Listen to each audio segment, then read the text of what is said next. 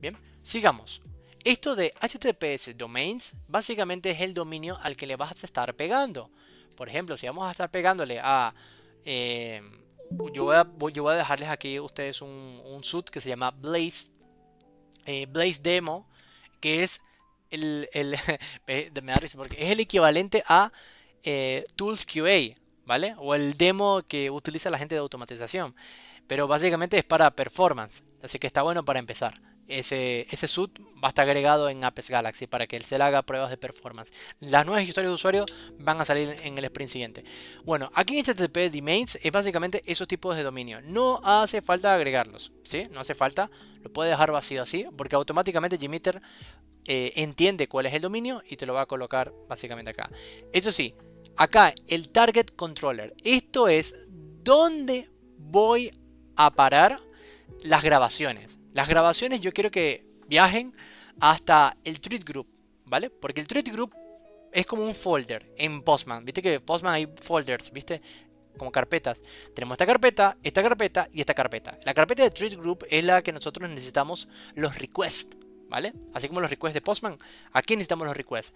Y este Target Controller le estamos diciendo que, bueno, vamos a todo lo que tú grabes, esas requests que grabes, lo vas a meter acá, ¿bien? eso es lo que vamos a hacer. ¿Ve? Te va a salir esto. Si lo pones así, va a grabarse y se va a colocar dentro de esta carpeta. Si le pones así, se va a guardar en esta carpeta. ¿sí? Lo vamos a querer directamente al grano, ¿no? Así. Listo. Lo demás lo podemos dejar así como tal. En otros videos vamos a explicar un poquito más en profundidad todos los siguientes parámetros que están acá. Vamos ahí donde dice Request Filtering, acá. Y aquí lo, es muy importante porque aquí no queremos bullshit. No queremos que cuando hagamos peticiones en la web eh, nos llegue cosas innecesarias como imágenes, GIF y esas cosas. Le pueden dar a donde dice agregar eh, exclusiones sugeridas y se va a agregar todo esto. Esto funciona, ¿sí? no, puedo sacar la mirada, pero esto funciona como si fuese una, expresión regular. Si ustedes si ustedes investigan expresión regular en, internet, sabrán que es algo casi universal. Es una especie de, script para decir qué cosas, eh, eh, qué, parámetros o qué caracteres eh, son los que se están usando. En este caso, todos los caracteres que están viendo acá son los que se van a excluir. Bien, entonces eso lo va a entender Gmeter y va a decir, dale, listo. Cualquier request que tenga estos parámetros no te lo voy a incluir. Esto incluye WOF, WOF, PNG, eh, eh, icon, GIF, JS, CSS y BOM y algunos más. Igual esto no incluye todos. Ahora, una cosa muy importante es incluir en los parámetros aquí un parámetro que tenga que ver con tu software. Bien, para que puedas grabar exactamente los requests que salgan. ¿Cómo se hace esto? Conociendo la aplicación.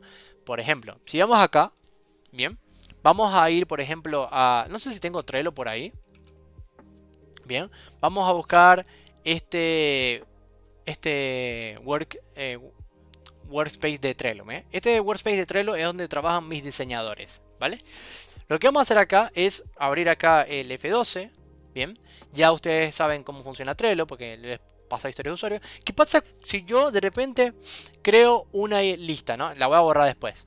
Si yo creo una lista, lista de prueba, bien. Si yo creo esta lista, me va a aparecer un request que se llama list. ¿Sí? Vamos a darle aquí. ¿Viste? List. Si yo me entro acá, ¿a qué API? Más o menos, porque no es API, esto es un request. Recuerden que la API de Trello empieza https api.trello.com slash 1 slash list. Ahí está. Pero este no es un API, esto es un request a el servicio web. Bien, no es lo mismo. ¿ok? Un API controla a la web. El servicio solamente le dice lo que va a hacer cuando escuche las peticiones. En este caso, yo necesito eh, siempre registrar esta terminación. ¿Vale? O sea, básicamente todos los que sean así son los que yo necesito. Estos, estas URLs son las que yo necesito. Así que tú puedes pasarle un, script para que siempre te, agarre esto. ¿Vale? Pero si de repente a ti te llega, por ejemplo, esto de announcement, tú no, no, quieres esto. Tú quieres solamente lo que digan trello.com slash 1. Ponele. Todos lo que sean trello.com slash 1 son los que te va a, grabar, todo lo que te van a tomar, que está bueno, porque son las acciones que hace el usuario realmente. Bien, en este caso vamos a utilizar un SUT distinto. El SUT que vamos a hacer nosotros es, se llama Place Demo. Ahí está. Vamos a entrar. Aquí tenemos. Es fácil. Este SUT es como Space Beyond, pero un poquito más eh, simple, diría yo. Lo que hace es, bueno, tú escoges destino, o sea, la, salida y la partida y el destino, ¿no? Por ejemplo, vamos de Boston vamos a London. Buscamos los vuelos.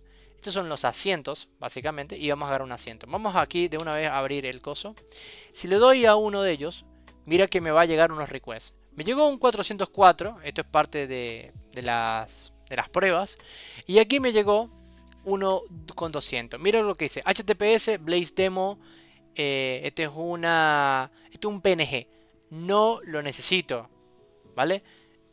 JSON, este mm, probablemente lo necesito, ¿vale? Porque es el request que le pegué. No sé, probablemente no porque no tiene nada que ver. Mire, desde Chrome Extension, no tiene nada que ver.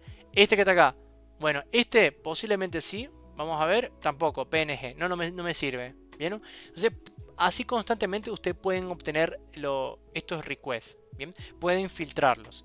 Por ejemplo, si yo sé que este termina en PNG, no lo voy a recibir en mis en, mis, en, mi, recorrido, ¿vale? Pero de repente este JSON sí, ¿vale? Porque no lo está excluido.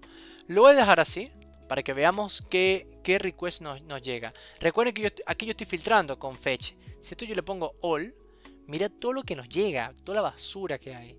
PHP, estas cosas. Este incluso en particular me gusta porque este puede ser el endpoint que necesitamos, ¿vale? Este que está aquí en particular.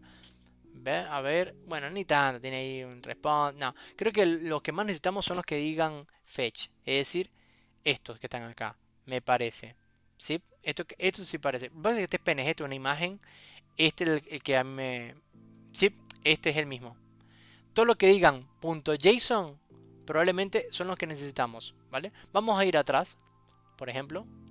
Aquí tenemos una de config. Vamos a ver, ir atrás.